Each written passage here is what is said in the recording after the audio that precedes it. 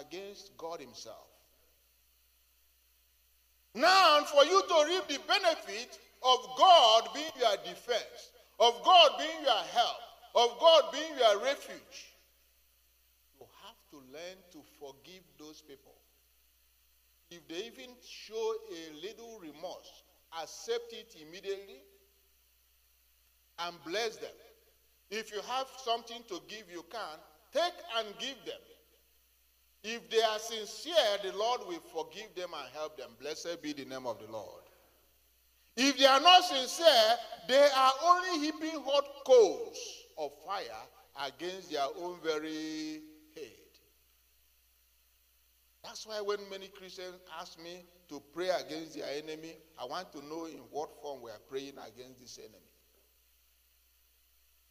Is it for the Lord to, to bring them back, which is what always the purpose of God? Is that the sinner might repent and come back to God. Now, in their churches, I know if you go there, they will pray for hours non-stop.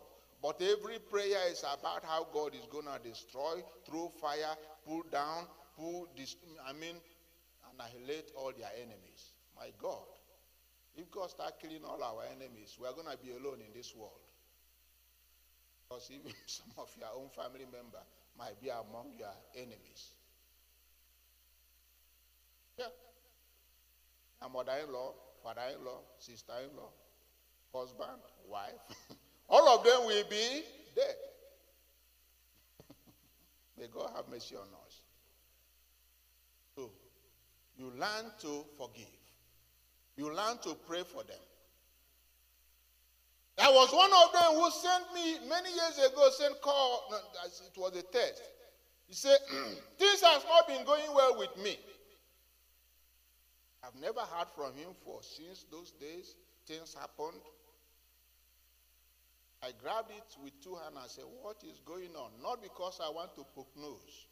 I want to be able to guide them out of that whatever God is doing, call it punishment, call it, you know, people give it different names. My whole objective is how can they come out and turn to the Lord? That will be my joy. Blessed be the name of the Lord. That this sinner, like me I was, that this person has turned to the Lord and become a blessing to the glory of God. So let us not rejoice in the fall of our enemy. Even you, when people are rejoicing that you are falling, the Lord will pull you up. That is the promise of God. Blessed be the name of the Lord. That is second thing I always learn in that dream. Amen. Amen. That they shall surely gather, but not by me, says the Lord. That any that gather against you shall fall for your own very sake. Amen. But don't go start giving testimony about the fall of your enemy. Let your compassion show. Let the nature of Christ show in you. Blessed be the name of the Lord. Who even at the point of being killed, what was his request? Father, forgive them for they do not know what they are doing. Blessed be the name of the Lord. Some of these people are people that, you know, as we were hearing last week from, from Pastor, some of them are actually people that are helping destiny. Blessed be the name of the Lord. If those people have not done what they did, I wouldn't have amounted to anything. I wouldn't be even be here. Blessed be the name of the Lord. It got so bad at a point that instead of killing myself, I decided to fast. And I was waiting on God for about 10 days straight fasting. And that's when I always give you guys the dream, and God say, I'm going to take you to a certain country. I don't even know where America is. Blessed be the name of the Lord. But God brought it to pass to his glory. Amen? Amen. The third thing I see in that dream that God does fight our battles. Blessed be the name of the Lord. That's from Deuteronomy chapter 20, verse 4. Deuteronomy 20, verse 4 um, sorry, Exodus chapter 20, verse 4. Exodus 24. Blessed be the name of the Lord. I think I got it wrong here. Uh, it says, It is God that fights our battles. Amen.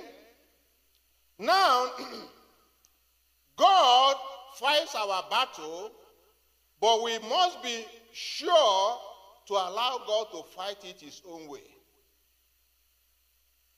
Many of us want God to fight our battle our own way.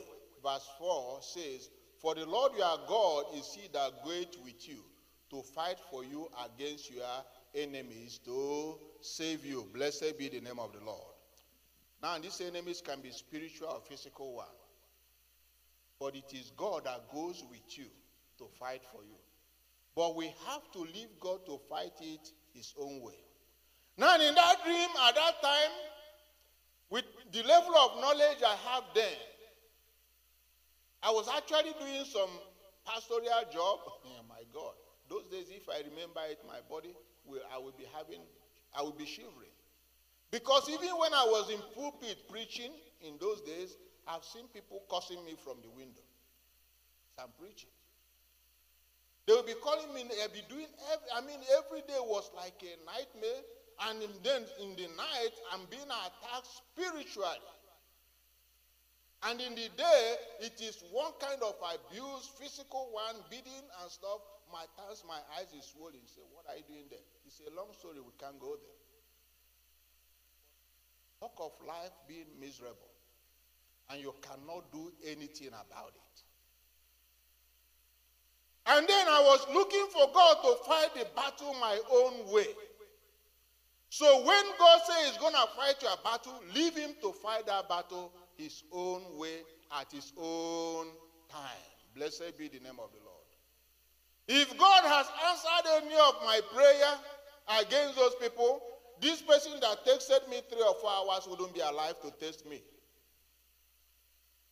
The one that I've turned and given them life to God wouldn't do that. What is more important? That they be dead and buried or that they live and give God glory and their life turn to God. For me, I would take the letter for any suffering in the whole world. That they will come to the knowledge of Christ. That they will have eternal life. That God will rejoice in their salvation. And that they be sons and daughters of God. Blessed be the name of the Lord. So let us learn to leave God to fight the battle at his own. Oh, this is the things I garnished from those, that dream. The same dream occurred several times in my life over and I just had one early this year. The last one I will bring about is from Second Thessalonians chapter 3 verse 16. Second Thessalonians chapter 3 verse 16. Amen. That God has a purpose that in all situations that you shall have peace. I'm always dismayed in this dream. I'm always frightened. There was no peace. There is this, this, this, this thing that is so agonizing that when I wake up at times, I'm soaked with weight. It's like a trauma. And each time I go back in the same situation. But then I wake up, it is not what it is because God has pulled me out of the miry clay. And not only did he do that, he stood me upon the rock. Blessed be the name of the Lord. And he didn't stop at that. He put a new song in my mouth, even a song of praise to the glory of our Lord Jesus Christ. Amen and amen. But in that dream, I don't have peace. That is my understanding, and I'm wanting you to know today that no matter what you are going through, Remember that, oh God is our help in ages past. And the same God will be your hope in years to come.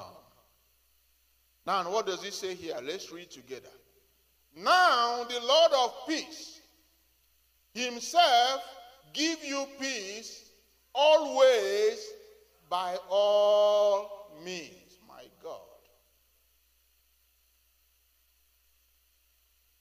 He says here that the Lord of peace, Jesus Christ, the world is seeking peace without the Prince of Peace. It's never going to happen.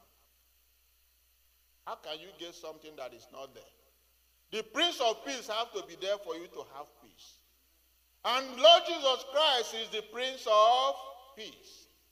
Now he said, the Lord of peace himself, himself give you peace always. By what? All means. Hallelujah. What does he mean by all means? If he has to subdue them to give you that peace, he will. If he has to, whatever that is necessary. And I always think, and I believe after I look at it, I say, my God, I didn't know what force is behind me in those days. I didn't know what power that is holding me up. He said that everlasting God is what? You are refuge. And underneath you, always, is everlasting arm. The eternal God is your refuge. And underneath you is everlasting. That what was behind me was so powerful that if I have known, I wouldn't be this fearful. I wouldn't be this so concerned. I will be relaxed. I will be thanking God every day because there's a purpose to what God is doing.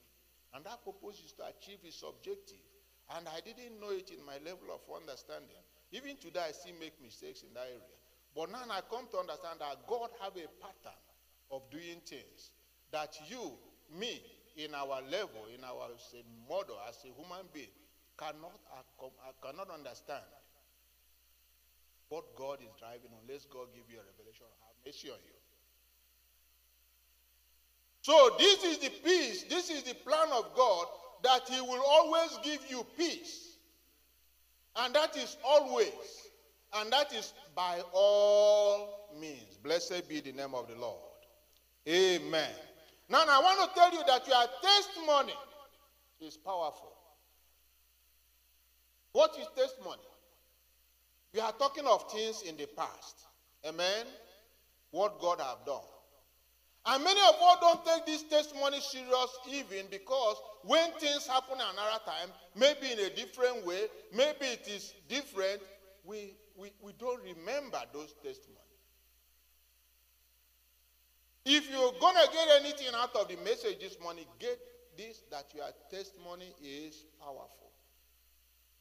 Because if God have healed you of headache yesterday, he's able to do even greater tomorrow. Blessed be the name of the Lord.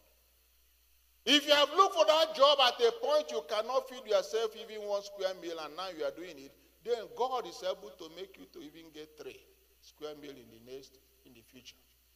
Our testimony is to talk of what has happened. And that's what God is showing me. It's your testimony. This dream is your testimony. This is your past. So if you wake up and look and it's no more there, I'm now lying in a nice, comfortable bed. Those days it was in a mat that I was sleeping on. That God has advanced, God has prospered, God has done it. This was the past. It's now a testimony. So that tomorrow, if life challenges come, if situation doesn't line up the way I want it, if there's going to be a turmoil as it is in this hymn, he said, within the shadow of thy throne, still may we dwell secure. Sufficient in thy arms alone, he said, our defense is sure. Blessed be the name of the Lord. That I may know that my defense is sure. One young man in the Bible, David was his name. came to the camp of Israel. And in this camp, there was running around, there was fear, there was turmoil. Israel did not remember their testimony of the, of the old. They didn't remember the God that put them through Egypt, through the land of uh, pestilence and, and, and suffering and whatever they went through, and brought them to promised land and subdued their enemies. Now there is this man called Goliath in this war. Every day for 40 whole days, he came to persecute and insult the people of God and put them in fear. The Bible said that when he comes, all the men of war, they ran away. They went to hide. Even the king himself was shaking like a baby. Then this young man, David, came and said, Who is this uncircumcised Philistines that is here to defy the armies of the living God himself. And tell don't even go there. This man is a, this, this, this thing you are seeing is a man eater. It's a war machine. It's a killing machine. That's why all of us, nobody can challenge him.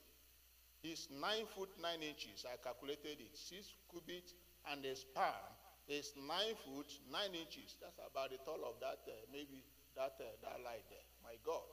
If you are looking at him, you have to bend down like this to see his face. His war weapon is like a, a, a, beaver, some, something they used to weave in those days. That's how tall it is. His sword is such that you, may not be able to lift it if you are not walking out like me. Blessed be the name of the Lord. But this young man looked and said, Who is he? And well, nobody, everybody has been running away. Nobody want to challenge him. So they said, Well, in a land where everybody is blind, one eye man is a king.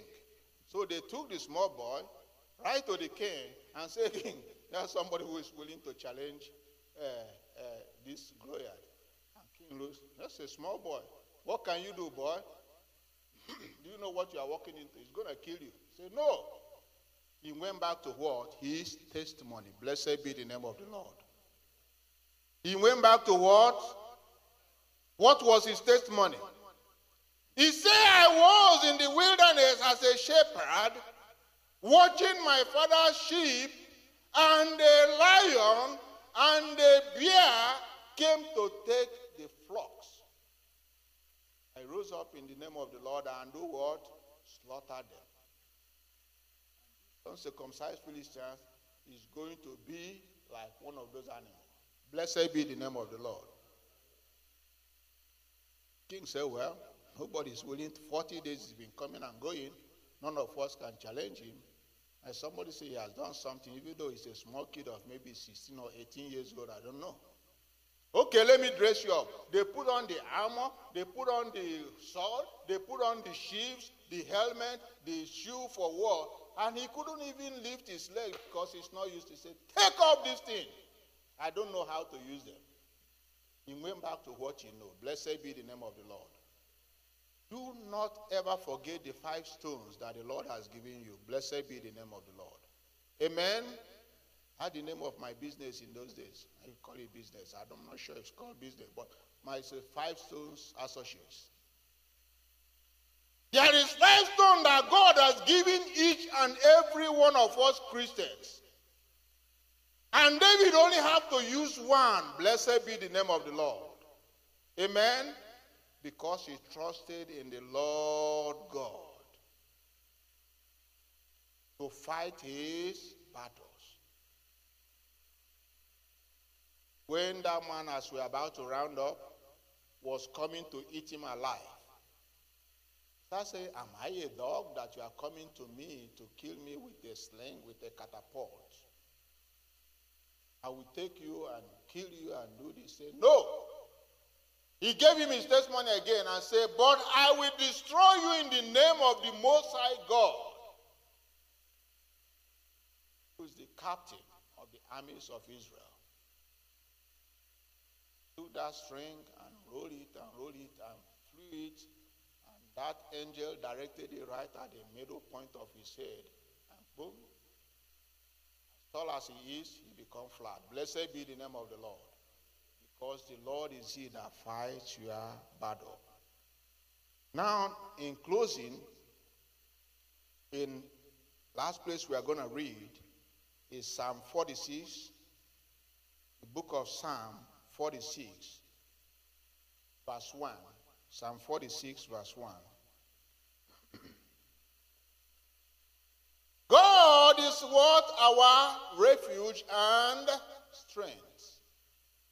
A very present help in trouble. Remember that, brethren?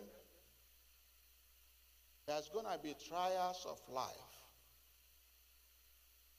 There's going to be storms from time to time. There's going to be a life of almost at times a nightmare that I experienced. But God gave me these four order of things, and number one of it is that He will never leave you, neither will He forsake you. Blessed be the name of the Lord. God is our refuge and our strength, a very present help in the time of trouble. Amen. Do not rely on your own strength like I did and went through that pain.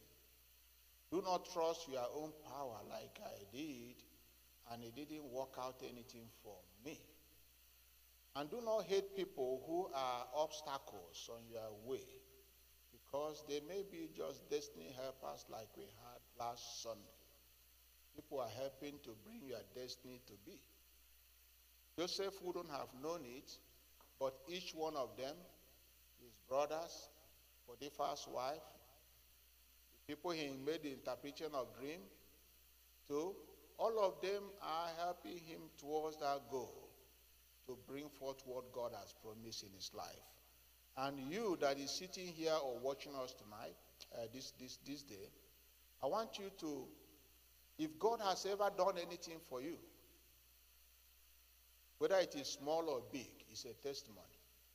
When you are facing the next Goliath in your life, when you are facing that situation that looks overwhelming, go back to what the Lord has done.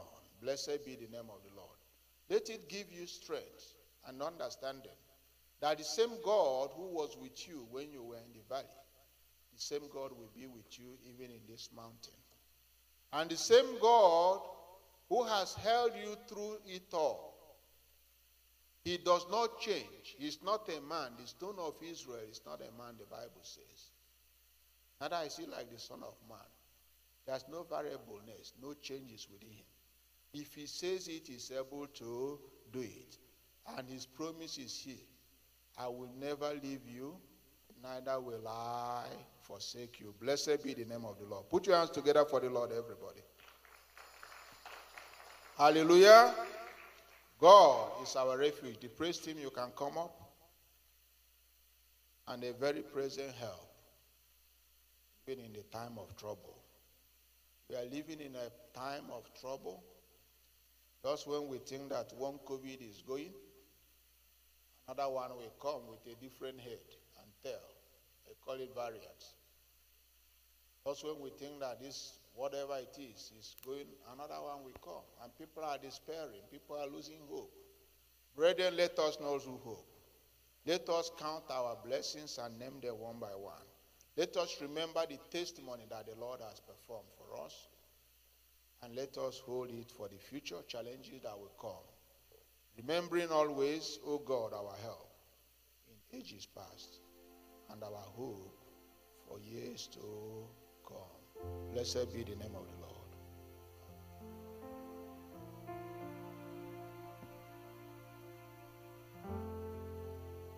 You are watching us this morning and you haven't given your life to Christ please consider doing it. You cannot bury these promises if you do not take up salvation of God. If you are saved, then these promises are yours. Receive it in Jesus' name.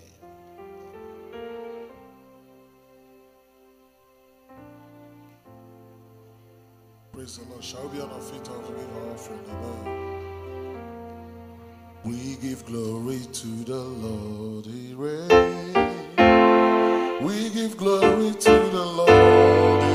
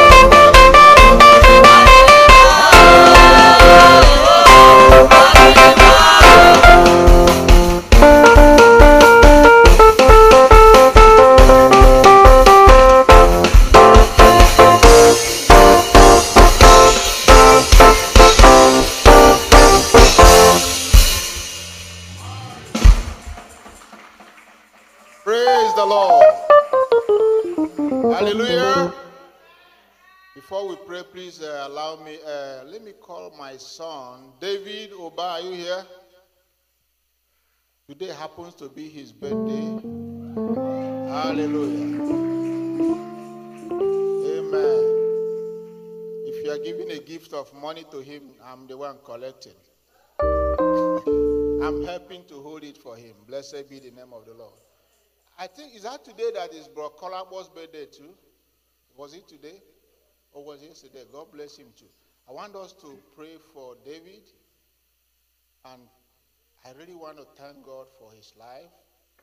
We couldn't ask for a better son in every aspect. I'm not just saying this, it's true. Amen. Very obedient and God fearing. Hallelujah. God, he took after me.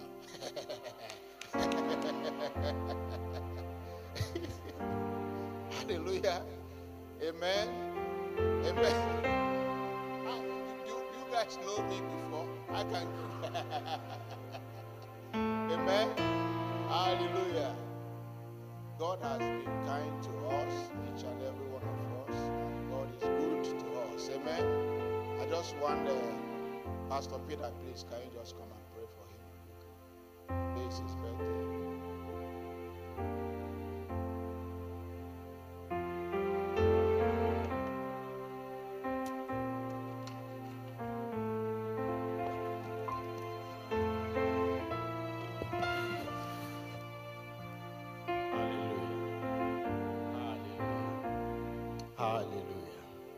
Heavenly Father, I want to thank you for your Son. I want to thank you, Lord, for his uprising, for his down sitting. I want to thank you for the challenging times. I want to thank you for how far you have led him. When the enemy thought he could snuff out his life, you said, No. Our Father, I remember it, Lord. I thank you There is a son of joy that be gladness, not just his family, but the house of faith. Father, Lord, as his name is, so Lord, so shall he be in the name of Jesus. Father, Lord, he's going out and he's coming in. His academics at school, Father, you cause him to rejoice. You cause us to rejoice in the name of Jesus Christ. Grant him, grant his parents their heart's desire concerning David in the name of Jesus. Father, we thank you. We love you. We appreciate you for being with him this far, Lord. And you are able and more than able for him to fulfill the books that was written concerning him in the name of Jesus. Every trap that the enemy will dig for you, in the name of Jesus, you are clean as kept according to my word, in the name of Jesus. The sun will not smite you by day, neither will darkness overrun your life, in the name of Jesus. When the excellent are numbered,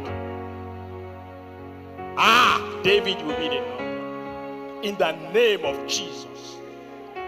We rejoice the sound. The, the, the, trees of the wilderness will resound, will rejoice at the sound of your name. In the name of Jesus. Ah, they will clap for you. Say, Here comes a son that will bring joy to his generation. In the name of Jesus. Father, I thank you, Lord. The wherewithal, O Lord from on high, granted to him, I pray in the name of Jesus. To be a stalwart in the palace of the king, in the name of Jesus. God bless him, oh Lord. Oh, bless him, bless his parents in more ways than they can even comprehend. That they look back and they say, Ah, now we be this concerning the Son in the name of Jesus. Thank you, Father. Jesus' name.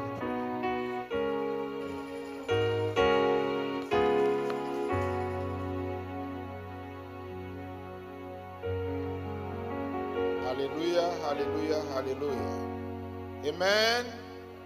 Amen. One day he was lying down like dead. The doctors are practically giving up. People were crying and saying, hopeless almost. The same Jesus. Amen. The same Jesus. He did it for me before. He will do it again. Came to me in a dream and said, Do not cry, do not worry. He will shave his head again. I jump up from where I'm sleeping and say, He will not die, but he will live.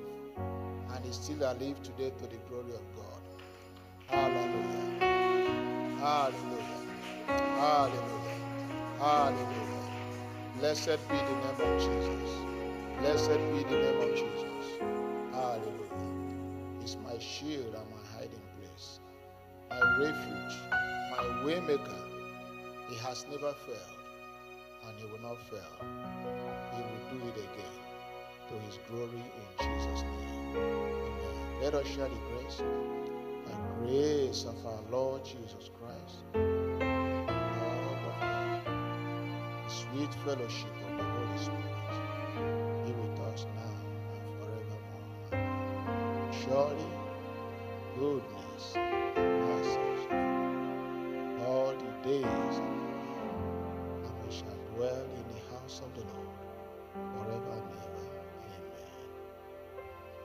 go you. Peace to all.